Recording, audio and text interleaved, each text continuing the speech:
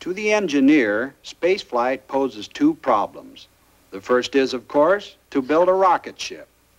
The second, and no less important, is to prepare and train the men who are to fly the future rocket ships and to provide suitable working conditions that will enable them to survive in space. To help show you what is being done to solve these problems, we have called upon one of the foremost exponents of space travel, Dr. Wernher von Braun, who is at present the chief of the Guided Missile Division of the Army's Rocket Center at Redstone Arsenal. He was also overall director of the development of the original V-2 rocket. Now here's a model of my design for a four-stage orbital rocket ship. Compared to the unmanned instrument rocket, it is quite large. But the overall size and weight of the rocket is mainly determined by the 11 tons weight of this top section. This weight dictates the amount of fuel and the numbers of motors needed to produce enough power to equalize the gravitational pull of the Earth. The payload in the top section will consist of 10 crew members plus equipment. Notice the wings, small rocket motor, and landing gears. This is a section that must ultimately return the men to the Earth safely.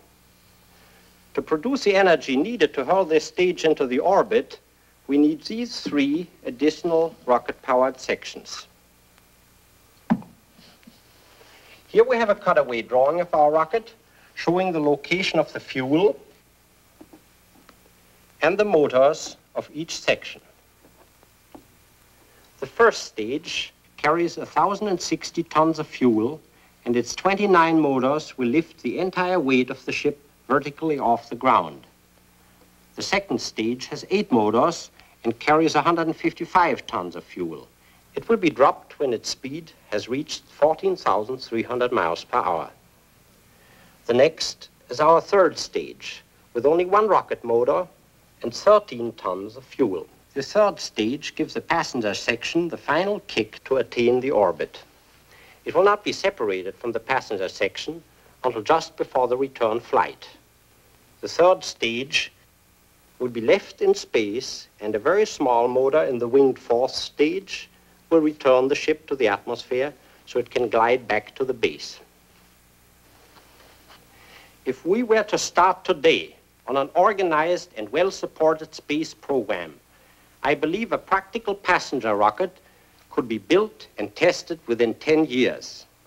Of course, it would be foolish to rush headlong into building a four-stage rocket, manned with a crew, and attempt to fire it into an orbit without first following a step-by-step -step research and development program. Let's illustrate this with the help of a few pictures.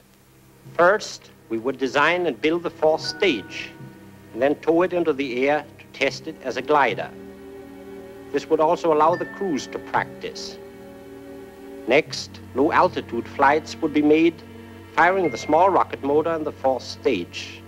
This would also give the crew more and more training. Following that, the third and second stages would be constructed and tested very thoroughly on the ground after which they would be joined to the passenger section so that faster and longer flights could be made up to speeds of about 12,000 miles per hour. The only thing remaining would be the building and ground testing of the huge first stage. Then there would be no more test flights. When all the sections are joined together, the ship and its crew will be ready for man's first flight in space.